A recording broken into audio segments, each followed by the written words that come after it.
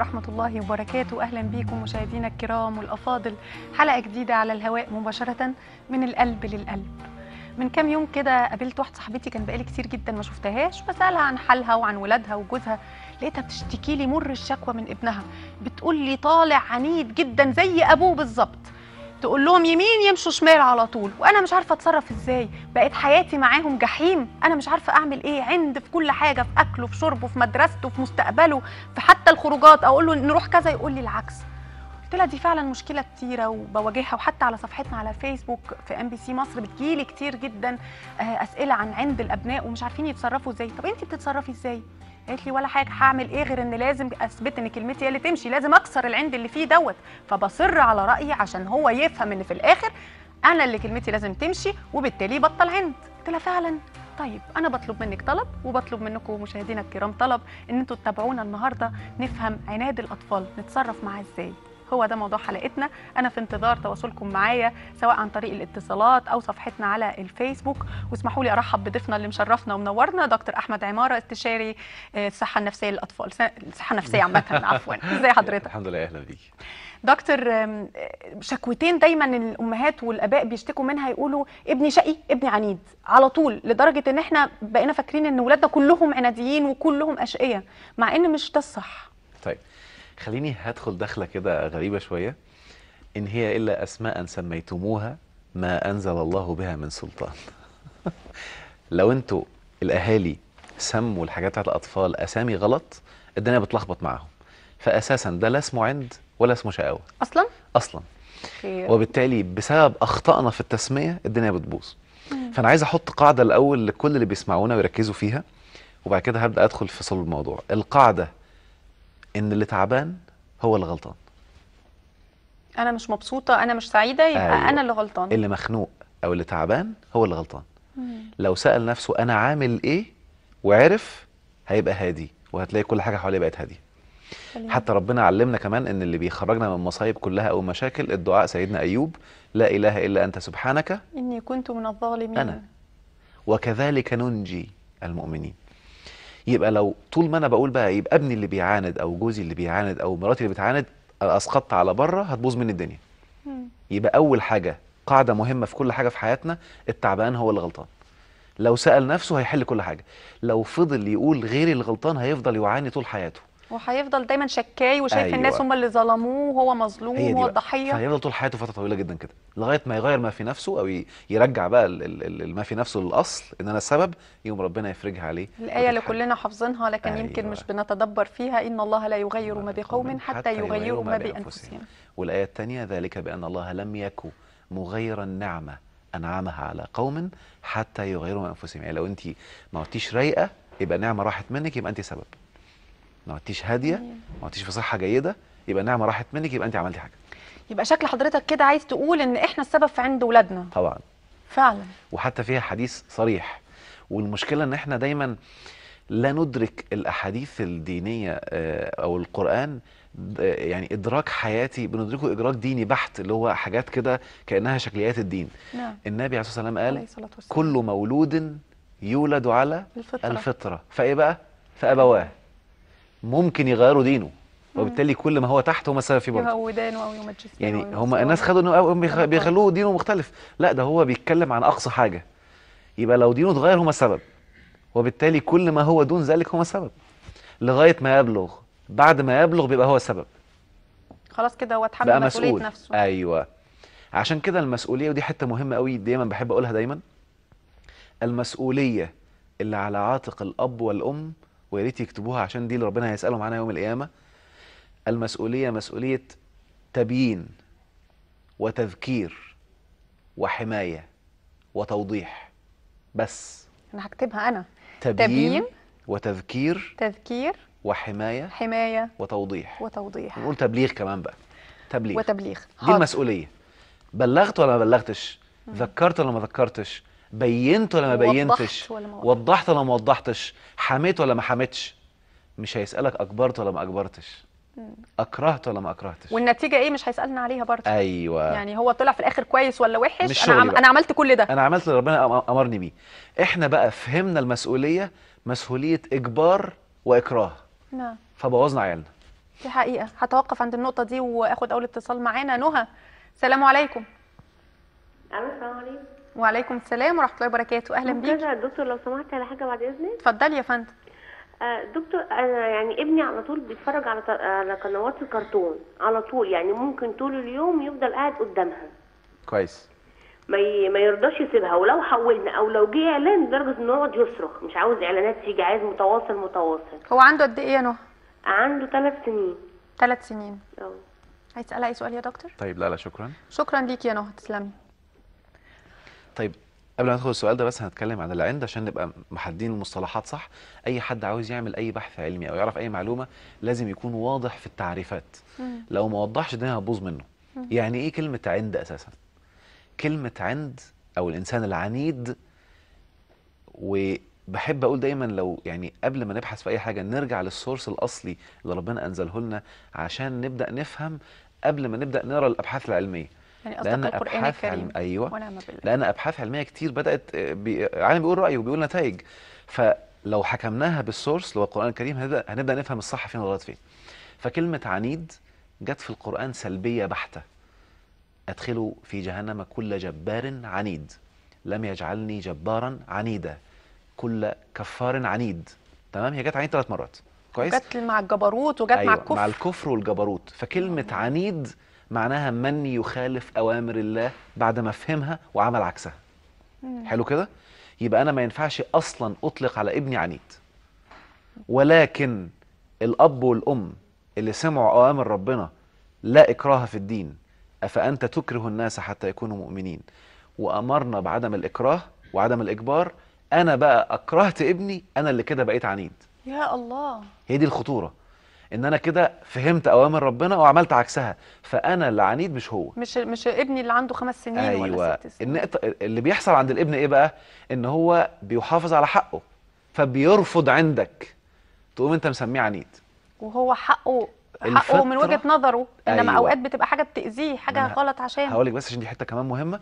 اتفضل. الفطرة اللي ربنا فطر عليها البشر عدم اتباع أي مخلوق إلا الله. دي فطرة البيبي. على الفطرة. فأي حد يقول له كلمة اقنعني. مش هعبد حد كده إلا ما أفهم. فإحنا للأسف بنعتبر بقى إن أنا عشان أربي ابني أخليه يسمع الكلام أو كلمة اسمع الكلام دي الدين معناها الاتباع. مم. والدين أمرنا أن أنا أتبع إلا الله أو الرسول بس يبقى المفروض أنا مطالب أبين له. ليه بقول له كده؟ وهو اللي يختار. اللي هي التبيين أو اللي هو. التبيين والإيضاح. معايا؟ فلو أنا كأب ما عرفتش أبين له مش هيسمع كلامي. ولو ما سمعش كلامي هو ماشي على الفطرة. هو كده صح. ما حاولش أكسرها له بقى عشان أخليه يسمع كلامي. لأن الآباء والأمهات اللي بيكسروا الفطرة دي عند الابن بيطلعوه تابع. ما عادش يعرف ياخد قرار لما يرجع لبابا وماما. بيلغوا عقله بيلغوا المنطق بيلغوا الفكر. وثقته في نفسه وكل حاجة. فالثقة بتضيع ويبدأ يبقى متردد وخايف ومرعوب ودايما يمسك فيها ولو بعدت يعيط ويبدأ يحصل حاجات كتير جدا جدا جدا اللي يبقى في الآخر شكلها العند. طيب طفل عنده ثلاث سنين يا دكتور المفروض إني أوضح له وأفهمه؟ أيوه اولا في حتة مهمة قوي الإنسان علشان يبف- يبقى فاهم الخطأ والصح لابد إن هو إدراكه يعلى صح كده؟ تمام. طيب هسألك سؤال كده ودي لي نعمل إيه في الحالة دي؟ ابني ما بيعرفش يمشي لسه بيبي عنده سنة مثلا أو تسع شهور 8 شهور. ينفع بقى أحطه في عربية وأفضل ماشي بيه بالعربية خمس سنين بحجة إنه ما بيعرفش يمشي؟ لا طبعا. طيب عشان أخليه يمشي صح ويعرف يمشي كويس أعمل إيه؟ بسيبه على الأرض أسيبه يتعلم. على الأرض يتعلم ويقع يتعلم ويقع يقوم قدرة المشي تنمو عنده. بس هيئ له الجو المناسب حواليه عشان ما يتأذيش. اللي هي الحماية بقى. آه. دي مسؤوليتي. الحماية النقطة الثالثه دي الحماية. حلو كده؟ يبقى أنا مسؤوليتي أحميه وأسيبه يتعلم. حلو كده؟ ده ربنا يحاسبني عليه أنا بقى.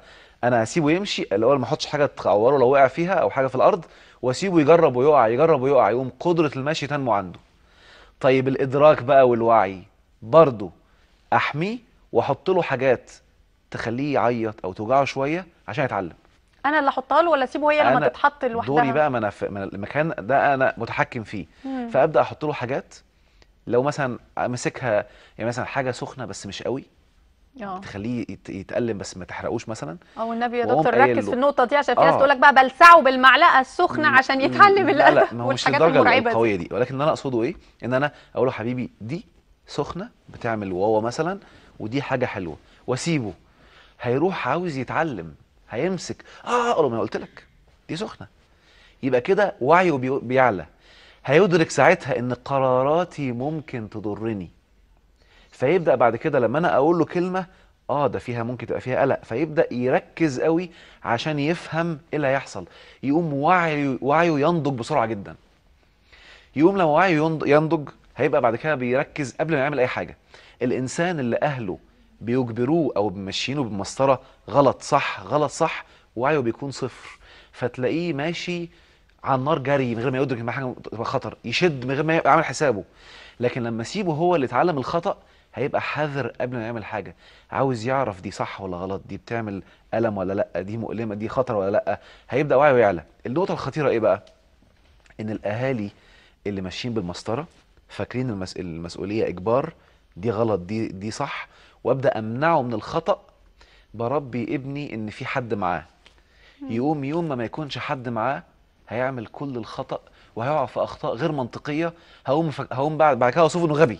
طب أنا سبب وغير كده ولو ما عملش كده يعني لو لو عاندني بقى زي أو مش عايزين نقول عاندني بقى لو تمسك لو برأيه. تمسك برأيه أيوة. ساعتها هتهمه بقى إن هو مش مؤدب وما بيسمعش. الكلام وعفوا وحاجات كده عشان كده عشان كده أنا عايز بقى أعيد المصطلحات تاني يبقى الابن إن لم ينفذ عندك إجبارك يا أب ويا أم هو كده متمسك برأيه ومش عنيد تمام. حلو كده وبالتالي تمسك الرأي حله إيه إني أقنعه أو أسيبه يعني أبين له الإيجابي أبين له السلبي عشان كده ربنا قال البلاغ المبين مبين واضح.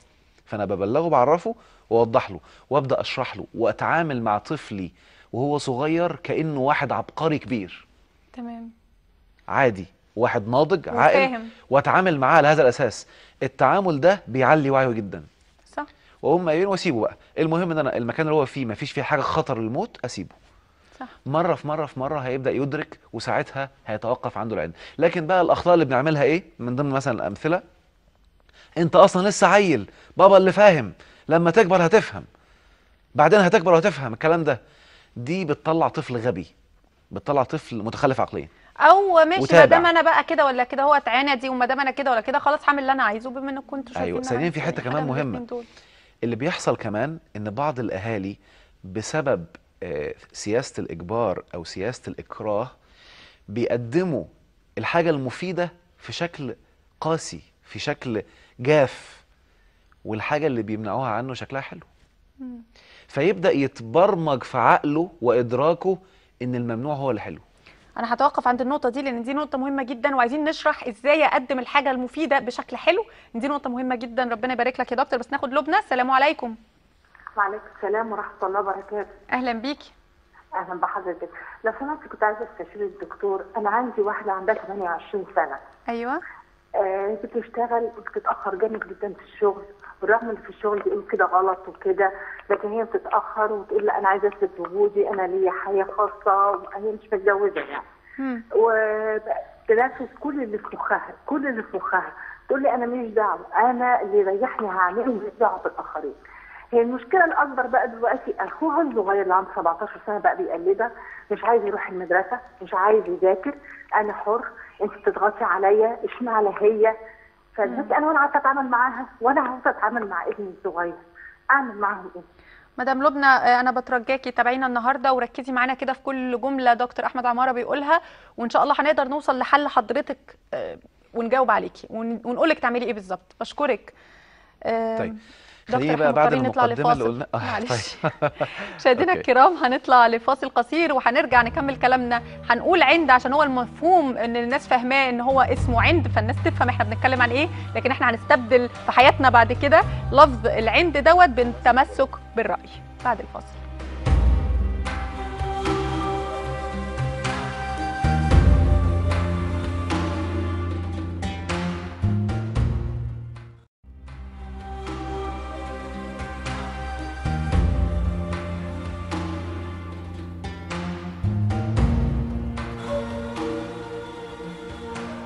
ورجعنا لكم تاني مشاهدينا الكرام. موضوع حلقتنا النهارده إزاي أولادنا بيتمسكوا برأيهم في حاجات كتير جدا وإحنا بنبقى مش عايزينهم يتمسكوا برأيهم لأن إحنا شايفين إن هو ده الصح. يعني بين قوسين العند اللي هو موضوع حلقتنا النهارده وزي ما اتعلمنا من أول سيجمنت من دكتور أحمد عمار إنه ما اسموش عند لأن العند هو إننا نعاند ربنا سبحانه وتعالى في أوامره ونو- ونواهيه وإحنا عارفينها وفاهمينها لكن بنعاند برضه. هو ده العند. إنما التمسك بالرأي ده هو دي المشكلة آه، اللي إحنا بنشوفها في أولادنا. وأوقات يا دكتور ما بتبقاش مشكلة كمان صح؟ أيوه. أوقات يبقى الأب والأم هم اللي غلطانين أو بيقدموها بصورة فجة قاسية يقوم الابن عشان حقوقه بيبدأ متمسك بيها. عشان كده أنا أجلت كلمة الحق بقى عشان نضيفها من ضمن المسؤوليات. أنا من مسؤوليات الأب والأم إعطاء الابن أو الأولاد حقوقهم. وأول حق هو الحرية. وده ال- الحق المضروب في العالم العربي كله. وإحنا مش عارفين يعني إيه حرية ولما بنمارسها أيوة. بنمارسها بشكل خاطئ دي مشكلة لو ما خدهاش في حياته. فيبدأ الابن خلي بالك آه الإنسان اللي بيعمل حاجة ومتمسك بيها بيكون بيحقق قيمة جواه ممتعة.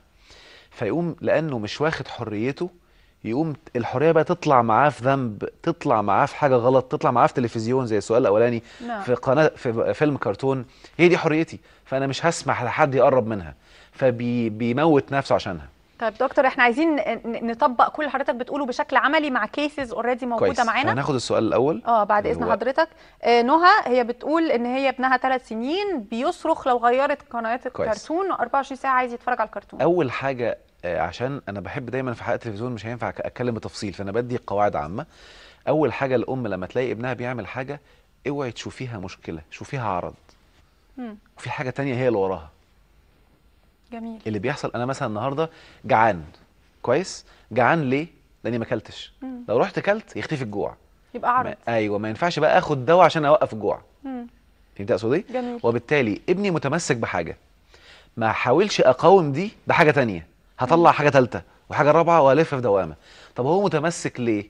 هعرف متمسك ليه؟ لأنه مستمتع بيها. حلو كده؟ أديله اللي أنا عايزه بأسلوب ممتع.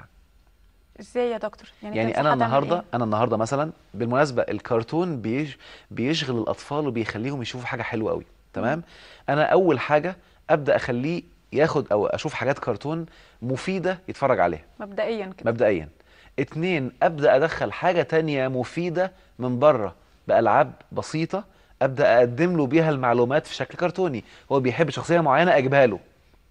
وأبدأ عن طريقها أديله معلومات مثلا عاوز أديله قيمة ال- الصدق مثلا أقول له على فكرة آه، اسمه إيه ده؟ مثلا آه، ايا كان مثلا سبايدر مان أي أي حاجة من كرتونية يعني. سبايدر مان بيحب إنه يبقى صادق وبالتالي دايما بيحب الناس صادقين وكلهم بيحبوه. يقوم يبدأ يتعلق بيه. يبقى أنا بديله من هنا اللي بيحبه وبديله من هنا بحاجة بيحبها تانية. جميل. مرة في مرة في مرة لما يبدأ ينتقل الحب بتاعه لحاجات خارجية أقوم مدخل الحب مع الكتاب ومع القصص. شكل كرتوني أو صور وألوان والكلام ده أبدأ أنا أقعد معاه نرسم حاجات بيحبها كرتونية وأدخله معلومات بيها جميل حضرتك برضه. ربطه بكرتون اللي أيوة. هو بيحبه اللي هو مش هروح أجيب له. حاجة تانية خالص لا، هو مش اللي عايزها ما. يفهمهاش وبعد كده لما أنوع بقى الحاجات اللي بيحبها أبدأ أدخله حاجات تانية ما بيحبهاش بشكل ممتع بس خلاص هو اتعود وتقبل أيوة. فكرة الحاجات التانية بحرية إن أنا. وبعدين في حتة كمان مهمة ما أقولوش سيب دي واعمل دي لا بص يا حبيبي إحنا عاوزين النهارده نعمل كذا. تحب نعملها عن طريق كرتون؟ ولا نعملها عن طريق الرسم؟ ولا نعملها عن طريق قصص؟ ولا نعملها عن طريق اللعبة؟ هو اللي اختار. يقوم كده يشبع الحرية فما عادش هيعاند. اللي هو بقى ما عادش هيتمسك برأيه. طيب دي آه، لبنى بقى مدام لبنى بنتها 28 سنة آه، عندها ابن 17 سنة آه، بنتها بتشتغل بترجع متأخر هي خايفة عليها. أم ودي مشاعر تحترم إن هي خايفة على بنتها. الناحية الثانية البنت عايزة تثبت نفسها في شغلها عايزة تنجح برضو دي مشاعر تحترم كويس. ورغبات تحترم. حل المشكلة إيه؟ خاصة إن الابن بقى جه تاني بقى يقلد فلا أنا كمان مش عايزة أروح المدرسة ابتدى يختار بقى حاجات غلط. ما هي دي. ما هو طالما الابن بدأ يختار حاجات غلط أنا هفهم من كده إن الأسرة عندها قيمة الحرية صفر وعايشة بالإجبار. طالما هو بدأ يف... ما خلي بالكوا دي حتة خطيرة قوي للآباء والأمهات. إن لم تعطي الحرية لابنك في الصح هيفهم هيدخل له الشيطان بقى وهيزين الحرية في الغلط. يعني لو عمل ابني حرية غلط مش معناها إن هو ما يستحقش الحرية أيوة. معناها إن أنا وصلت له الحرية بمعنى غلط. هي دي الخ- الخطورة بقى. لأنه مش فاهم الحرية أصلا هو ما ما دقهاش ما جربهاش. يقوم يفكر إن تكسير الخطوط الحمراء هو الحريه نعم. فهمت حضرتك مؤمن بخطوط حمراء يا دكتور في, في تربيتنا لاولادنا أنا عندي خطوط الحمراء هي خطوط الدين. حلال وحرام. مم. مفيش حاجة تانية. لو إحنا عملنا خطوط حمراء يبقى إحنا عملنا دين تاني. يا الله. عشان كده ربنا قال قل أتعلمون الله بدينكم؟ أنتوا اللي عاملينه. الصح والغلط ده اللي إحنا بنقول يا ابني ده الصح ده الغلط ده دين تاني. يا الله. فإحنا بنعمل دين تاني وملخبط عيالنا غير دين ربنا. فأنا المفروض من بدري أعرف ولادي إن الصح والغلط هو الحلال والحرام. هو دي الخطوط الحمراء. لكن ما أجيش أقول له بقى الصح امسك المعلقة الغلط امسك الشوكه لا ده دين تاني. يقوم بحط له بقى ليه بقول الكلام ده؟ لأني ببدأ أحط حاجات تانية موروثة وأدخلها كأنها دين يقوم ابني يبدأ يكسر ده ويقوم واخد الدين معاه في الآخر. آه ما اتعود إنه يكسر خلاص أيوة. فبيكسر ده. ودايما بقولها بالق... بالكلمة المشهورة هي كده. مم. هو كده. و... لا والأمهات يعني- كمان بنوصل لمرحلة ما هو يا دكتور برضو حضرتك حس بينا. توصل لمرحلة من كتر الشرح والنقاش والمناهدة بوصل لمرحلة مش قادرة على كل خطوة أشرحها. طيب شفتي بقى هقول لك حاجة حلوة قوي اولا أنا مش مطالب إن هو يتغير. اهدي أنا مطالب إن أنا ألعب معاه. ليه ربنا قال واستعينوا بالصبر؟ لأن هو حل كل حاجة. وقال بشر الصابرين. لأن أنا لو من بدري فاهم ابني إن هو عبقري وأنا كل حاجة باخدها باخدها بهدوء من صغره بخليه يفكر هوفر على نفسي كتير إنه عقله هيكبر فهيبدأ 90% من الحاجات يعرفها لوحده. صح. فما عادش عليا لود. فخلاص. فخلاص. فبعد كده هيقف في حاجات بسيطة فهشرحها له بهدوء. سنتين كمان هيبقى كل قراراته صح. بارك الله لكن لأني أنا دخلت نفسي إله وأنا قاصد أقول الكلمة دي وعودته يعبدني من دون الله. فأنا بعد كده بقيت مسؤول عن كل حاجة بقى. يوم هتجنن في الآخر. جدا يا دكتور. آه. طيب يوم هتجنن في الآخر. إحنا معانا مها بعد إذن حضرتك. السلام عليكم. وعليكم السلام ورحمة الله. ازي حضرتك وازي حضرتك يا دكتور. الحمد لله. أهلا. بيكي. اتفضلي يا يا دكتور آه، أنا بنتي عندها أربع سنين. تمام. وعندها حالة شديدة من الحول. آه، واضحة جدا في مظهرها بالرغم العمليات اللي إحنا عملناها لها واللي إن شاء الله لسه هنعملها لها يعني بس مظهرها آه، واضح جدا إنه العين مش حبيبي. كويس. آه، زي ما حضرتك كنت بتقول إن إحنا نحاول نحمي ولادنا أنا على نطاق العيلة قدرت أوصل كل قرايبي مثلا وقرايب باباها والناس اللي حوالينا إن هم ما يتعاملوش معاها بطريقة فيها حساسية أو تمييز نظرا لوضعها يعني أو أو شكلها. وان الناس كلها تتعامل معاها عادي جدا.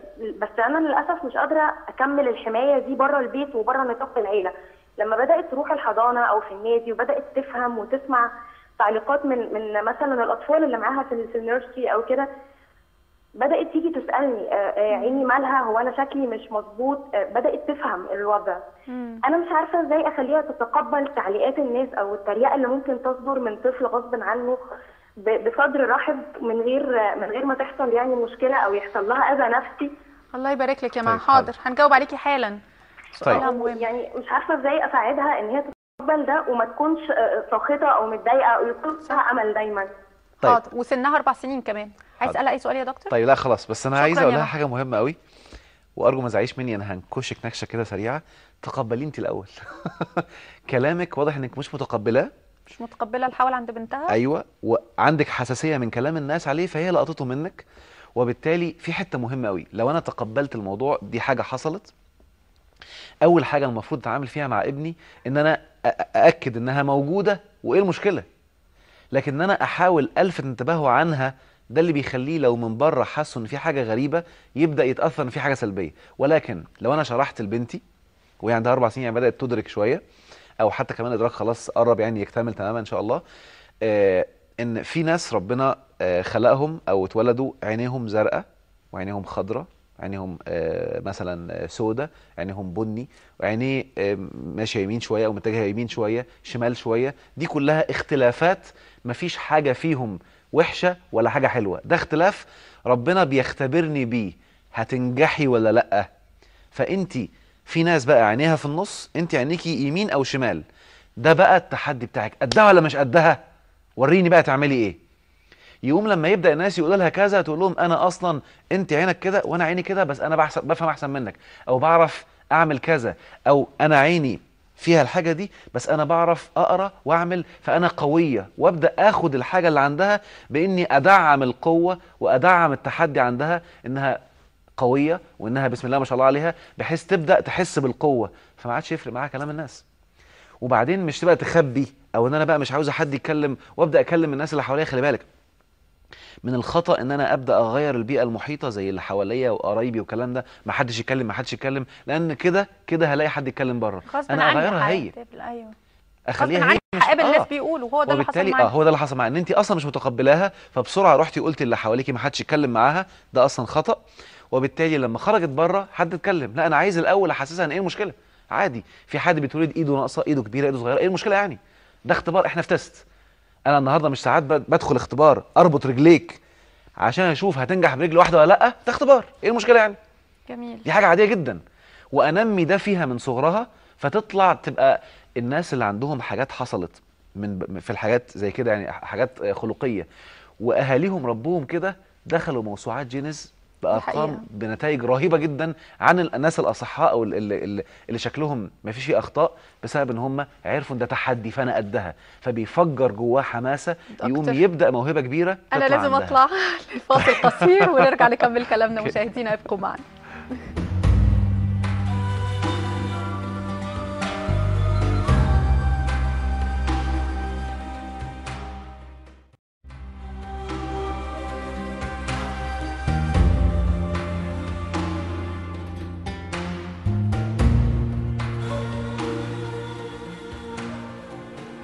ورجعنا لكم تاني مشاهدينا الكرام. قبل الفاصل اتعلمنا من دكتور أحمد عمارة علينا نعمله مع أولادنا التبيين التفكير الحماية التوضيح التبليغ والحفاظ على حقوقهم. للأسف إحنا ما بنعملش الحاجات ديت بالقدر الكافي. اللي بنعمله إن إحنا بنتمسك برأينا إحنا اللي بنتمسك برأينا وإحنا اللي طلعنا بنعند مش ولادنا وإحنا اللي بنجبرهم وبنكسر حريتهم زي ما بيقولوا. خليني أقول لك حاجة كمان مهمة مش في آية في القرآن بتقول وإن جاهداك على أن تشرك بي. يعني ربنا بيقول أو الأب والأم جاهدوك عشان تشرك فلا تطعهما. نعم. إحنا فاكرين إحنا للأسف بناخد القرآن كده وبنعديه كأنه كتاب تاريخ كأنه كلام مش إحنا ما بنعملوش لأ ده مش لينا خالص. عارفة الآية دي تنطبق على إيه؟ وأهالي كتير جدا بيعملوها يوميا. الناس هيقولوا عليك إيه؟ يا ابني الناس يا ابني. ويبدأ الأم والأب بيشركوا مع الله الناس. مم. وأبدأ أربيه على كده. إن الناس بقوا شريك مع الله أنت اعمل حسابهم يقولوا عليك الكلام ده. ما تخليش حد يقول لك كلمة وحشة. السمعة يا ابني يا حبيبي وسمعتك والكلام اللي بيتقال ده ما هو نعم. ده بيجاهدوا عشان ندخل شريك مع الله. نعم. فمالكش دعوة بالكلام ده. ولو إن يا دكتور أحيانا العرف برضو والحاجات دي بتتاخد في الفقه يعني بي- بيتعمل حسابها. لا لا, في فرق في بين جزئية العرف كده صغيرة. آه. والناس. ما هو العرف ده جاي منين؟ من من ثقافة الناس. دي واحدة بس. الناس تقول عليك إيه؟ دي حاجة. لكن أنا هديكي مثال مثلا. المفروض ودي حتة مهمة قوي إن أنا أبقى فاهم إن معياري في التحرك هو الحلال والحرام. طبعا. حلو كده؟ ولأن الدين أمرني إن لو المجتمع متعارف على شيء أنا ألتزم بيه بالظبط. عشان الدين مش عشان الناس. آه يبقى تناولي للجملة هو ما ده اللي دخلش غلط شرك خالص مع ربنا. آه ما أقولش الناس هتقول إيه خالص. لكن أقول هي في أيوة، النهاية ربنا يزعل منك. آه. ربنا يشوفك إيه. مم. أربط على طول بربنا. يقوم لما أسيبه لوحده اللي بيحصل إيه بقى؟ ربط ربط الانسان الأم والأب طفلهم بالناس بيخليه دايما بيراعي الناس حتى هو مش موجودين. مم. لو الأب والأم مش موجودين مراعي الناس يقول عليها إيه؟ طب اعملها مع ربنا بقى عشان لو أنت مش موجود هي. بيراعي ربنا. ده الأهم. هي دي الخطورة. صح. وخاصة إن إحنا بقينا في زمن كمان يا دكتور حاجات كتير جدا إحنا اتربينا عليها إنها عيب وما يصحش وكده ما بقتش عيب في الزمن ده دلوقتي. أيوة. فأنا لو لكن هي حرام في الاثنين زمان آه. ودلوقتي وبكرة. هي دي. اللي بتربي بنتها بقى وابنها على الناس يقولوا عليك إيه؟ هتلاقيه بعد كده لما يكبر ما كله بيعمل كده يا ماما. خلاص ده بقى معياره. تقول إيه؟ العيب ما بقاش عيب. ده بقى معياره. يا بنتي اللي انت عاملاه ده ما كله يا ماما صحابي بيعملوا كده. طب ما بابا كل صحابي بيشربوا كذا.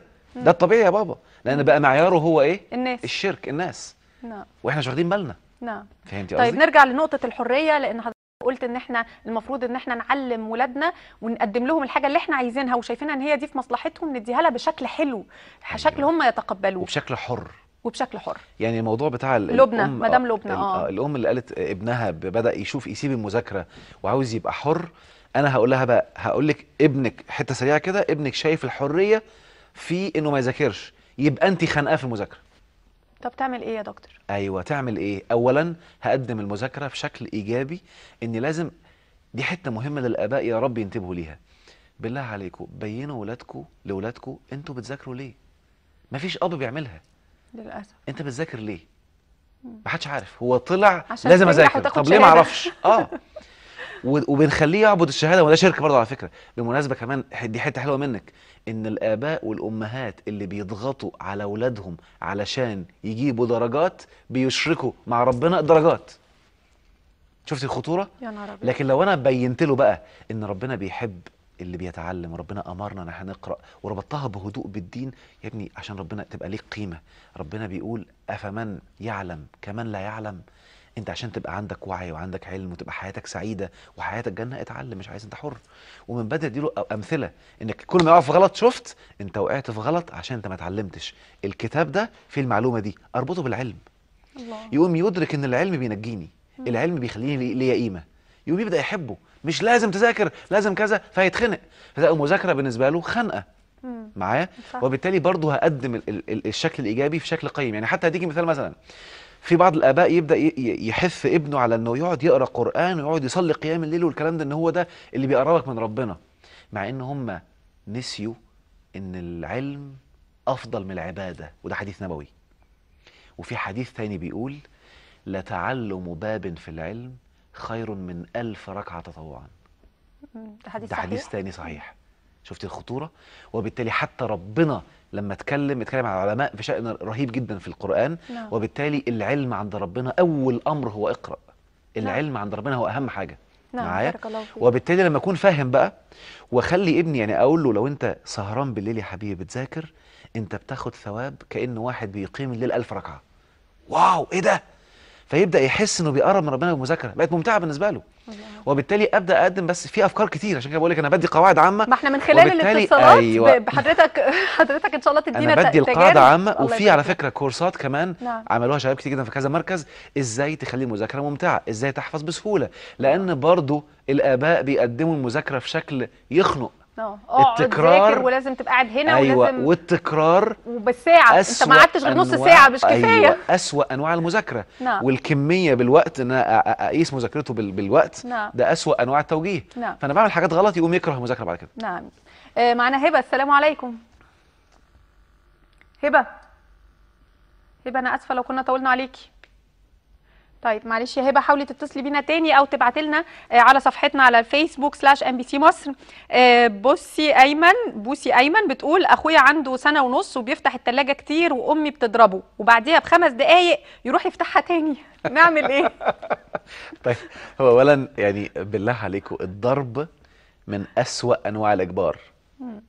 ويعني أنا مش عارف الأم اللي بتضرب ابنها قبل ما يكبر ده يعني ربنا يعني يعني إيه قبل ما يكبر يا دكتور. عسير. لأن المفروض إن حتى كلمة الضرب مش بالمعنى ال ال يعني أنا ال- الألم. ألمه جسدا. نعم.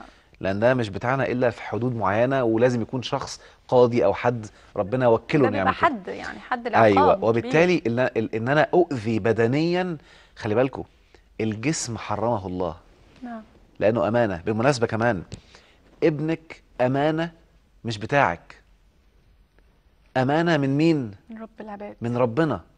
وربنا شايف الأمانة بتاعته بتتضرب. افهمي كده كويس قوي. وبتتضرب ليه؟ عشان مش عاوز اسمعي الكلام اللي هو قاله لك يخليه يبقى كويس. بتتضرب عشان عاوز اسمع كلامك انت شفت الخطورة؟ دكتور أنا خايفة حلقتنا النهارده آه، نطلع منها إن الأبناء كلهم كار- كارهين أهاليهم. الله يبارك لك. أنا بتكلم على فكرة أنا بتكلم للآباء والأمهات. إن هم يبقوا مدركين الحاجات دي كويس قوي.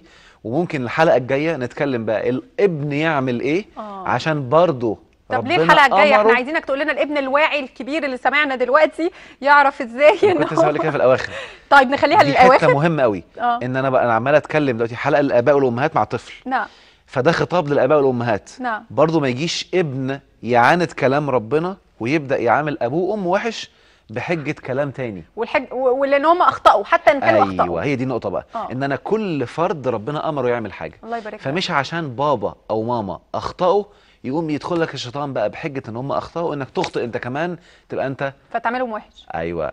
تقع في مشاكل تقوم تلخبط حياتك بسببها أنت كمان. الله يبارك لك يا دكتور. معانا أم أحمد. السلام عليكم. عليكم السلام ورحمة الله وبركاته. أهلا بيكي. اتفضلي. آه، أنا عايزة أستفسر عندي طفلة صغيرة حفيدتي يعني عندها سنتين وخمس شهور. ربنا يخليها لكم. آه،. هي يعني اتكلمت من بدري وواعية يعني آه، ما شاء الله عليها كويس. الحمد لله. بس هي بتتخيل دلوقتي شخصيات وهمية وتتكلم معاهم. يعني تقول لي يا صاحبتي اسمها لافي تقول أسامي غريبة وتقعد تتكلم معاهم. مم. فهل إحنا نسيرها يعني نقول لها مثلا عندها كام سنة؟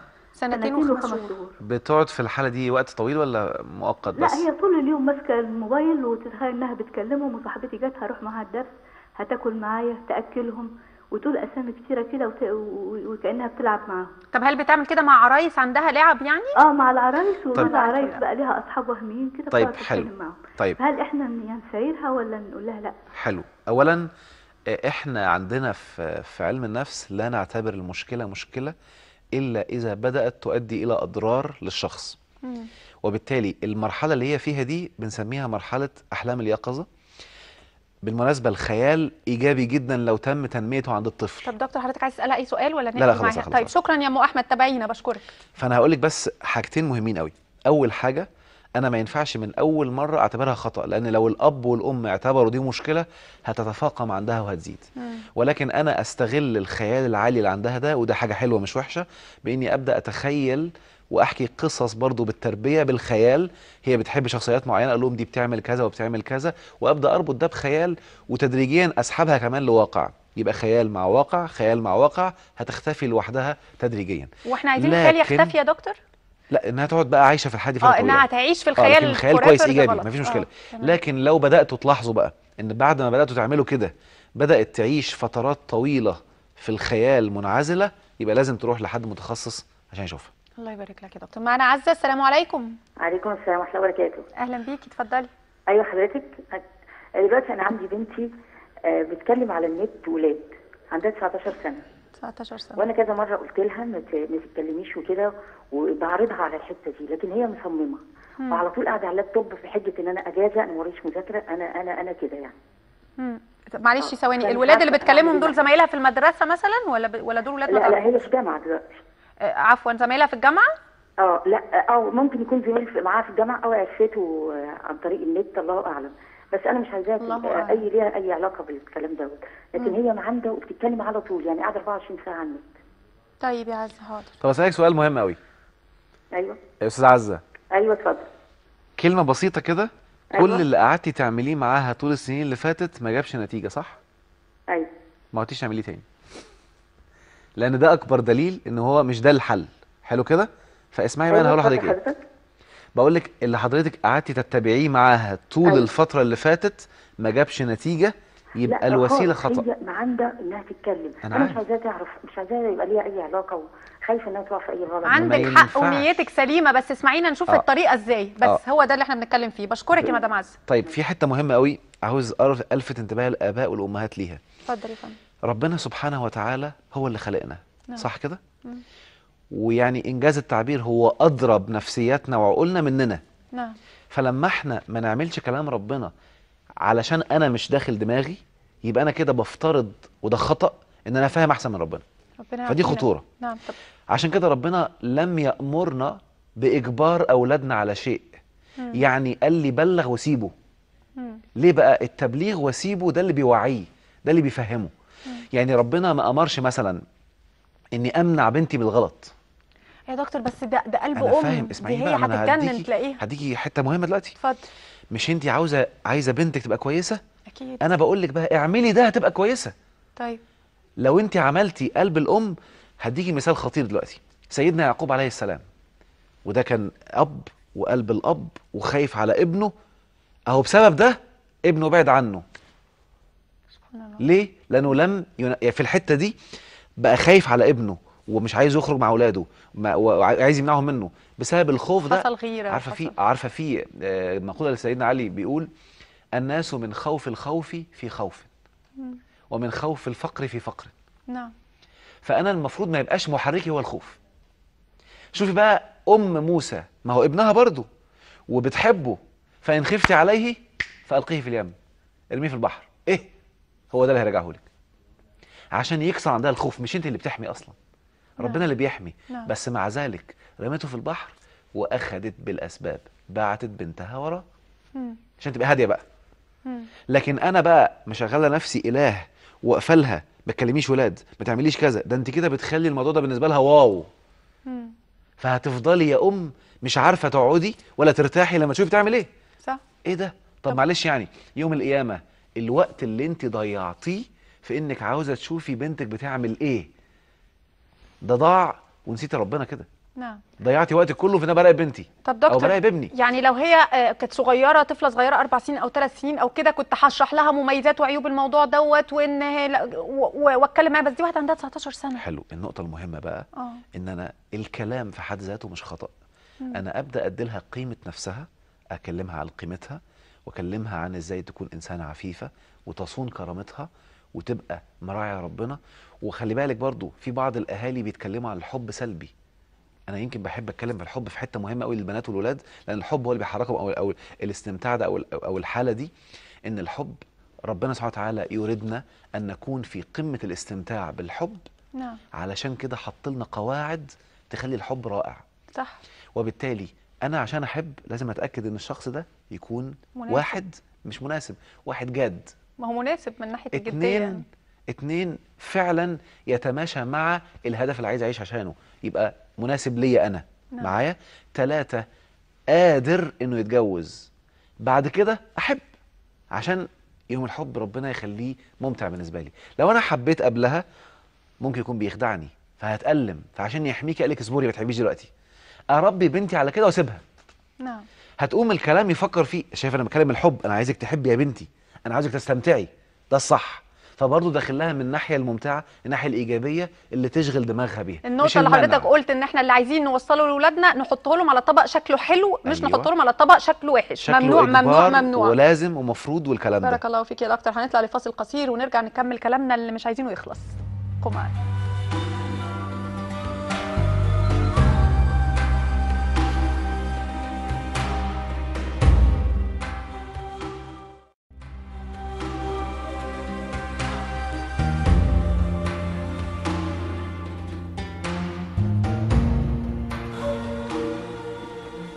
ورجعنا لكم تاني مشاهدينا الكرام وما زلنا بنتعلم من دكتور أحمد عمارة استشاري الصحة النفسية إزاي نتعامل مع أولادنا بشكل صحي هيريحنا إحنا الأول وهنهدى وبالتالي لما هنتقبل أخطائهم وهنقدر إزاي نتعامل معاهم ونصلح منهم إن شاء الله. وزي ما حضرتك قلت إن إحنا مش علينا إن إحنا آه، نص يعني نوصلهم للصلح إحنا علينا إن إحنا نشرح ونقول ونوضح ونعلم والنتيجة دي بتاعت ربنا في النهايه أنا دوري أعلي عنده القيمة أتفنن في تعليتها. نعم. يوم تبقى دي قيمة عنده هو هيتصرف لوحده عشان يعملها. نعم. لكن قيمتي زي ما اتفقنا قيمة الحرية دي قيمة عالية قوي. أنا بدخل بإجبار فبيبقى عايز ياخدها فبياخد قيمة الحرية غلط. نعم. طب دكتور آه، آه، دلوقتي في ناس باعتين لنا already اتحطوا في مشاكل زي مثلا سوزان بتقول إزاي نقدر نعالج الأثر النفسي للضرب عند الطفل. هي خلاص عارفة إن الضرب ده غلط بس عايزة تعالجه. تعمل إيه؟ حلو قوي. أول حاجة علشان أعالج أثر سلبي هدخل من باب الصدق والصراحة اللي هو الخلق بتاع الصدق والصراحة. نعم. هقعد مع ابني أقول له حبيبي هديله قيمة وهقول له وهصارحه أنا بحبك وأنت ابني وأنا كنت عاوزاك تبقى كذا وكذا وكذا فكنت بعمل الضرب ولكن أنا ما عدتش هعمله تاني. يعني يعترف بخطأه لأني واثقة فيك. أيوه. أنا واثقة فيك أنت بقيت راجل وأنا عايزاك تبقى حر ويا سلام وده رجاء لكل الآباء الله يهديكم استخدموا كلمة انت حر كتير. انت حر انت حر انت حر يا حبيبي. اعمل دي انت حر براحتك. بس لو وقعت في مشكلة ربنا يحاسبك انت حر. يقوم يشبع من الحرية فما عادش يحتاج يثبتها. معايا يثبتها بطريق الغلط. أيوه. لكن في ناس في أهالي بيتنرفزوا من كلمة حرية. فاكرين كلمة حرية دي حاجة وحشة؟ نعم. معايا نعم. وبالتالي بيبدأوا يدخلوا الأبناء في عبادتهم. نعم. هقول لهم بقى نفس الكلمة. متى استعبدتم الناس وقد ولدتهم أمهاتهم أحرارا. بيعبدوا الله بس. نعم. على فكرة الحريه معناها عبادة الله فقط. لو دخلت أب وأم يجبروا كده بينسفوا الحرية. نعم. وبيبدأوا بقى بيفهموا إن الحرية معناها مش هيسمع كلامي. نعم. فببدأ أخليه مش حر عشان ما يسمعش كلامي. يوم ما يكسر يكسر كلامي وكلام ربنا زي ما قلنا قبل كده. وبالتالي أشبع عنده الحرية وأصالحه ب- يعني أتكلم معاه بأسلوب بوزيتيف وأبدأ أوجهه أنت أنت شاطر وأنت قوي وأنا واثقة فيك. وابدأ من النهارده أنا خلاص لانك بقيت عاقل فأنا ما عدتش هضرب تاني. عشان تمام. أنا واثقة فيك. بعد كده يا حبيبي لو أنت غلطت أنت حر أنت السبب. تمام. هتعاني. وبعدين خلي بالك أنا يوم القيامة الواحد لو كان بقى واعي بقى وبدأ يبقى بالغ يوم القيامة أه- أنا أنا هنسى نوامتك أصلا. فأنت حر. هنبقى كلنا قدام ربنا لوحدنا. فدي هتخليه. يفكر كويس قوي. معانا آه، سهيلة؟ أيوه. أهلا بيكي اتفضلي. آه، ز- آه، زي حضرتك. الحمد لله. اتفضلي يا فندم. سهيلة؟ طيب أنا بشكرك يا سهيلة. دكتور آه، آه، عايزين نعرف من حضرتك كده زي روشتة نعملها مع أولادنا آه، لما ألاقيهم بيتمسكوا برأي وأنا عارفة إن الرأي دوت اللي هو متمسك بيه ده هيضره. أتصرف إزاي؟ حلو قوي أول حاجة هو متمسك برايي لازم أشوف الهدف اللي عاوزين نوصل له إيه. فواحد أحدد الهدف. اتنين أسمع منه. أنت رأيك يا حبيبي نوصل للهدف ده إزاي؟ تالت حاجة اللي هو بيقوله لو في أخطاء أوضح له الأخطاء فين. نعم. رابع حاجة أقول له اقتراحي بشكل اقتراح مش إجبار. بص يا حبيبي أنت أنا قلت لك الأخطاء أهو وأنت حر. أنا رأيي إنك لو عملت كذا هيبقى أحسن. يلا شوف أنت تعمل إيه. أنت رأيي أهو ورأيي أهو. ويا سلام لو كان الرأي اللي بتاعه هيعمل خطأ بس أنا أقدر ألمه بعد كده وأسيبه يقع فيه. لما يقع فيه وعيه هيعلى. وهيتعلم. أقول له حبيبي أنت براحتك. يقوم مره في مرة في مره هيبدأ يدرك إن هياخد السيستم ده في المنهجيه أنا هحدد الهدف. وعشان أحدد الهدف هشوف الآراء. آه. بعد كده هبدأ أقول له بعد كده لما تحط هدف حط ثلاث طرق. نعم. ثلاث طرق توصل بيها للهدف ده. وشوف أحسنهم إيه. وعلمه الإحسان. دي قيمة. واحسنوا إن الله يحب المحسنين. يبقى أنا في عندي ثلاث اختيارات. إيه أحسنهم؟ عشان أعلي عنده قيمة الإحسان. يقوم بعد كده استخدم الإحسان في المذاكره إن من الاحسان انك تبقى من الأوائل. طب دكتور الخطة دي بيها. تنفع من سن كام؟ من أي سن؟ من دلوقتي. يعني ابني عنده بس في سنة؟ حتة. أيوه. بس في حتة مهمة جدا. مم. أول ما هبدأ أطبق الطريقة دي مع حد كان بيجبر هيبلطج. ما فرصة قدامه بقى. بقى. خد حريته. سيبه يشبعها. معايا؟ لأنه كان بيشبعها من وراك. فسيبه يشبعها. بس هو بيشبعها أبدأ بقى أديله القيم العليا عشان يرجع تاني بهدوء. ده؟ العلاج بقى آه؟ هقول لك حاجة مهمة قوي الأبحاث النفسية اللي اتعملت على الشباب اللي دخلوا في مشاكل وخدوا مخدرات وعملوا كذا وعملوا كذا لما بتساب لوحده وساب أهله وبعد قعد سنة اتنين تلاتة أربعة بيعمل كل حاجة قرف من نفسه في الآخر ورجع تاني بس باختياره بس ده لو رجع بقى ما ما, ما توفاش ما- ولا طبعا ربنا يعافينا ما لم يكن عمل حاجة. خطأ فأنا في الأول أسيبه ياخد الحرية وأنا متابع مم. عشان كده دايما بقولها بس اول الحرية اللي هي بالمنظر اللي حضرتك طبعا. ده يا دكتور. ما أنا بتكلم في حتة مهمة الله يهديكم.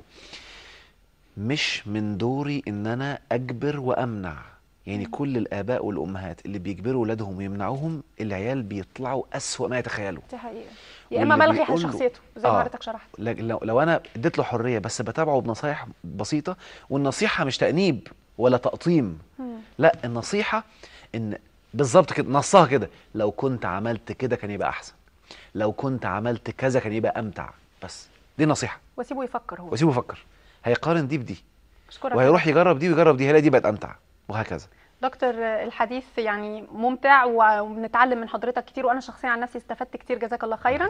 بشكرك بشكركم أيضا مشاهدينا الكرام. بتمنى من قلبي إن أنتم تكونوا فعلا اتعلمتم واستفدتم وقبل ما أنهي حلقتنا عايزه أشكر الشاعرة الرائعة نور عبد الله اللي أهدتنا نصيحة من قلبها آه، لمشاهدين من القلب للقلب وقالت كلام جميل قالت اللي تقوله من قلبك ولا شيء هيمنعه من الوصول. صدقك يدخلك القلوب قبل العقول.